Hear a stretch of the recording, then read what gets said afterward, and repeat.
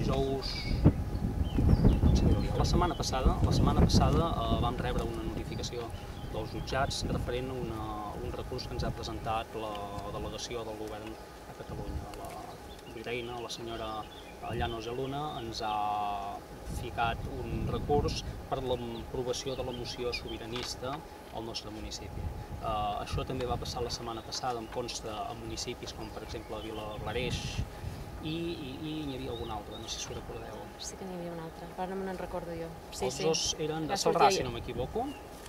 A Sarrià, a Sarrià, perdoneu, Salrà ja el tenien fa temps.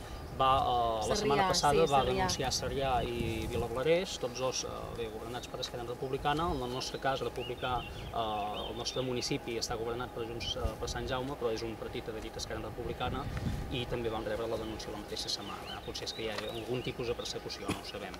En tot cas, eh, és un tema que li traiem tota la importància, li donem tota la importància que tenir, però també creiem que cal treure la importància perquè no té cap mena de base legal eh, per denunciar-nos per aprovar una moció, és a dir, aprovar una moció a un ajuntament és una competència que tenim i en tot cas les mocions són declaracions polítiques. El fet de ser declaracions polítiques no són constituents de cap delicte. Explico, a vegades amb els veïns ens podem declarar el que vulguem, ens podem declarar territori lliure i sobirà i ho hem fet, ens podem declarar eh, eh, municipi que exercirà la sobirania fiscal, ho hem fet, ens podem declarar, si volem, pans en Son Goku, els dic amb els veïns, i no passa res, no és il·legal, no és il·legal.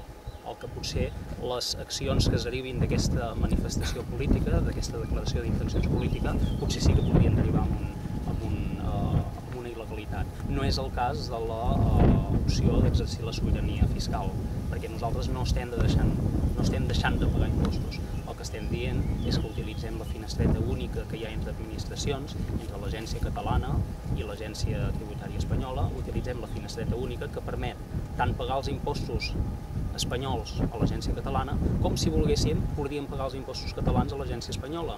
El que importa és que paguem i el procés està més que regulat eh, i per tant no ens genera cap mena de dubtes. Igual que ja ha passat en municipis com Salrà, que també van rebre la, la denúncia al seu moment, entenem que aquí eh, hi ha un precedent, per tant el jutge no dirà res més que això no procedeix i aquest recurs que ha iniciat mm, simplement es quedarà en punt. No ens preocupa, no ens preocupa perquè és que no hi ha base legal.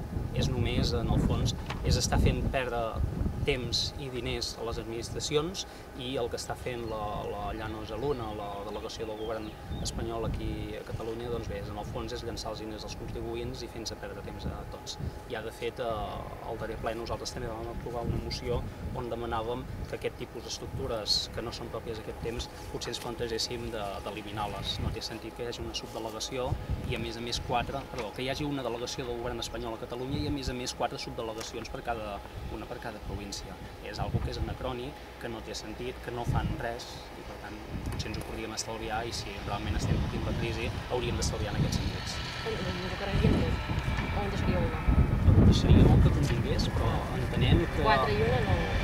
Entenem dues coses. Primer, que hi ha un procés iniciat eh, que molt probablement ens portarà a la plena sobirania de Catalunya, és a dir, la plena sobirania no només fiscal, que diem plenament independència, i per tant eh, aquestes estructures deixaran de tenir sentit, però és que més eh, estem fent una complexitat d'administracions que no té sentit. Les diputacions ja són l'expressió territorial del, de l'estat espanyol eh, al nou territori. Per tant, si tenim diputacions, potser no fa falta que tinguem delegacions, subdelegacions del govern. Ara estem duplicant. El fet dels, dels consells comarcals